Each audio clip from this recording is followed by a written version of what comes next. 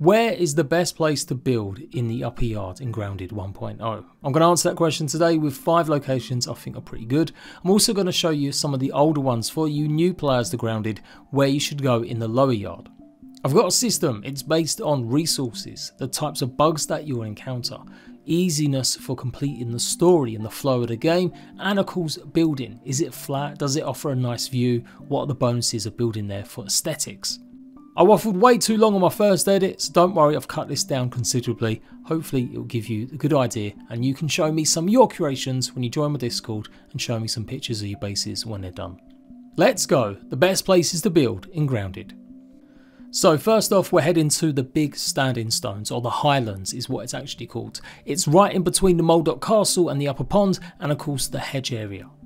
Whenever you've got somewhere right in the corner of one part of the yard, it's never going to be as good as somewhere more central. So resource wise, you do get the basics, but you've not got a lot of mushrooms around this area unless you go into the wetlands below.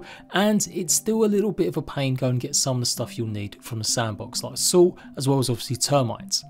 That said, if you're looking to farm a lot of the bosses, i.e. the Broodmother and the Mantis, then you are going to need somewhere in between to get to quickly, and I feel like this is not a bad spot. It has got a bunch of the late game creatures that is pretty dangerous, so don't come here if you've never played Grounded much before. And to some experienced players, farming them Black Widows and Oxes is going to be the main point. You can gain access to the upper yard by going around the back of Moldorc Castle pretty easily. And like I said, in terms of story flow, well, yeah, you'll be revisiting the hedge as one of the first places to go, and then obviously taking on Moldorc Castle and the stump areas. So it's not too bad, but still not the best. You come here really to build on top of this giant massive stone and have a massive imposing mushroom or ash castle. Maybe you build a settlement that cascades all the way down these standing rocks. It is a bit of a pain to get up to, but for sure, once you've got them mushrooms going, it could be your second big fortress base location you need. Bonus, there's a field station down below as well. So we're heading off to the second location, which isn't too far. It's just across the way from the opposite end of Moldorc Castle, in between that and the upper yard and the stump area. It's slightly better because it does give more easier access to that areas and there's a lot more resources that you can go and gather once you go past the wooden posts. Has to be said in the immediate vicinity it's pretty light. There's no grass stalks, there's not much going on here at all. But again, we're talking about bringing your mushroom pieces to build some sort of fortress, as this is meant to be kind of late game. We are on a rock as well, so you get a nice view, and you're far enough away from the mosquitoes that they won't bother you too much. So pretty similar in terms of resources, although it shades it getting access to the pine cones in the stump and some of the other stuff you're going to need. The bugs is pretty much the same, the story flow is a little bit better, but the building maybe isn't as good as you don't get as much as a big wide flat space to build on and it's not as pretty as the Highlands. Last word of warning, when the haze spreads it does come pretty close to the wooden stumps up here and you do have to fight infected wolf spiders. Next we've got the biggest space and maybe flattest that you can get other than the deck on the other side of the yard and with a much better view, of course it is on top of the compost box. As always, bringing mushrooms won't be a problem building your castle, but getting up to this point is a bit of a hassle. That's why I'm going to give it a 2, because you will have to go running back and down to build up your scaffolding to get up here. Although you can hook onto the rubbish bags to make it a little bit easier in terms of support. The other answer is only 14 weed stems and you can build a ramp up from the Java-matic all the way up to the top of here. Once you've killed the two stink bugs that are here, they won't respawn. So it is a bit of a pain having to go down to go and get the bugs that you need or find and kill them, even though some of them are pretty close like the Black Widows or the Undershed area, and the resources again is still a bit of a mission if you are not building out of bricks. But story flow, it's right bang next to the Java-matic and the stump areas, and building, there's absolutely masses of space to build something really impressive and big. Great for creative builders and big, big, big projects.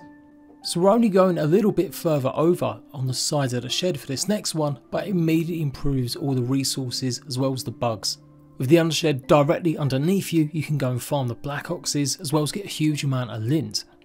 Its big letdown is it's just not that pretty. You do have the extra security of the actual shed wall giving you protection, but it doesn't have the best viewpoint in my opinion.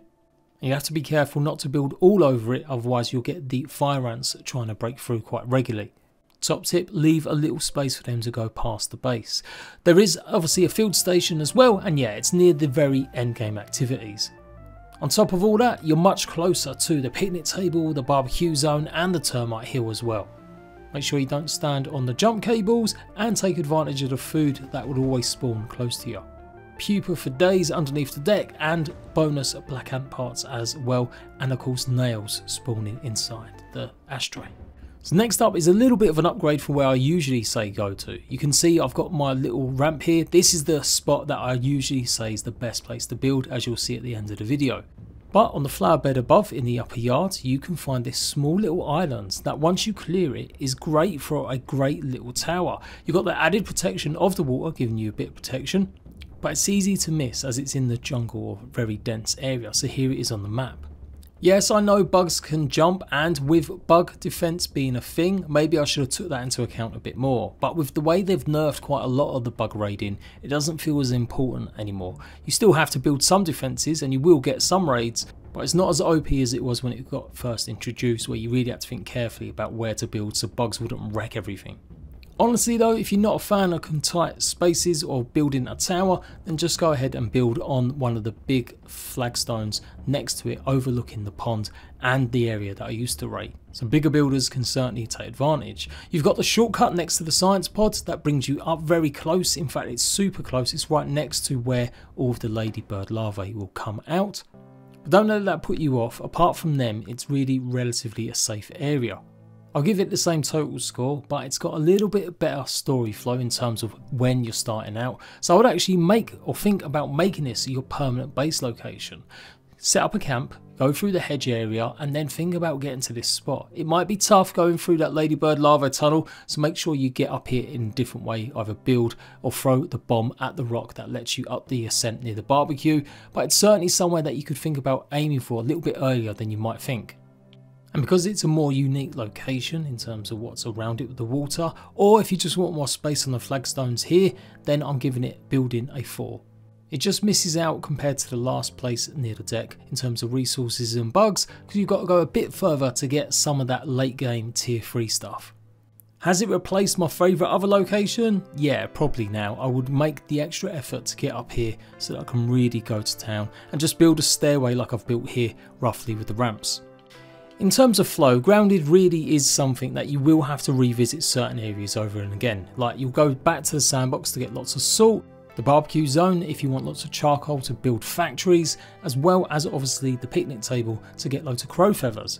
You're close enough that you can top up on some of the water creatures, the meats particularly for foods and smoothies, and if you never really cleared out the haze completely, then you're still only a stone's throw away from it. You do have to go a bit further for them berries, so I would say stock up on that before you move here. But you've got the shed with all the pupa, the undershed close by, and you're relatively closer to the termite and the trenches. So that's why this area is my favourite place to build in Grounded 1.0. I would avoid building anywhere near the stump. It's too far out of the way and you only really get pine cones here as a big bonus. And maybe a bit of pond moss once you've killed enough black widows. But it's just very dangerous and it's not somewhere that you really want to have a base.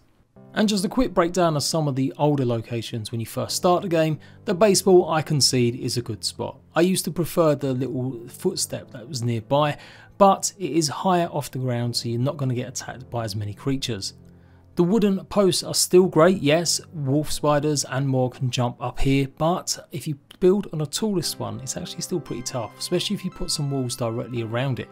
The Bombardier Beetle Stone, which is just on the opposite side before you go into the dry grass, is still a great location for maybe a factory or a bigger build. It's a pretty flat stone and it is relatively central to the rest of the yard. I would never build a base inside the hedge directly anymore. It sounds cool building a tree base, but honestly you'll have such a drag getting to other places. Unless we do get some other means to fast travel or get across, it's just exhaustive running or using zip lines and building huge towers. Likewise, anywhere near that lower bed that I used to say could be a potentially good spot to get to the upper yard, I still don't think it has enough benefits to really build here, only if you're going to go right to the top of the standing stones in the highlands next up to it. And you're just way too far in the corner to go all around the rest of the yard and get all the other stuff. Rashi's Island, which is in the middle of the wetlands, if you clear it all out, it could be epic and you're surrounded by water, so you'll be protected against most raids, other than mosquitoes. But it's a pretty big job clearing this all out to make it something worthwhile to build on, and I would still say it's a bit too far from everything else going on in the game. The picnic table is still one of the best places to build, whether or not it's underneath or on top of, as long as you can build bridges going straight to the barbecue zone or the sandbox, you'll be able to get tons of food and crow feathers. I would never build on the deck either in front of the house anymore. It's just simply too barren and takes too long to get to the other parts, the more crucial parts of the upper yard.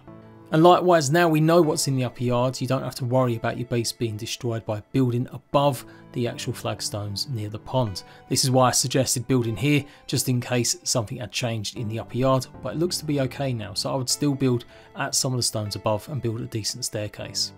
I did really crap on this location as somewhere that you need to defend yourself. At first I thought it could be good to protect yourself through these holes, but mosquitoes will absolutely wreck it and with the nerf to the base raiding like I mentioned, it's not needed as much. Yes, you're near a field station, and yes, you're pretty close to some of them upper yard areas, especially if you can build a bridge, but it's still just a bit too far away from places like the barbecue grill and the termite. If they ever change it and make a tunnel that leads up to the upper yard, it could be something revisiting.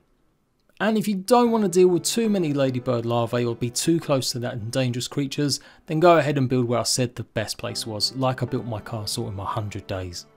It's a pain in the ass to get up to, you still have to go and blow up the rock with the ascent next to the barbecue or make sure you build a decent bridge near the Franken line. But done right and bit of time and effort put into it, it does give you a great base and location for all areas of the yard. So there we go, that's my tips on the best base locations in the upper yard and a few for you noobs starting out still. If you disagree me, let me know. Tell me some of the good points and bad points about other places you've built and come and share your pictures of your bases in my Discord. Until next time, Ratbags, I will catch you later.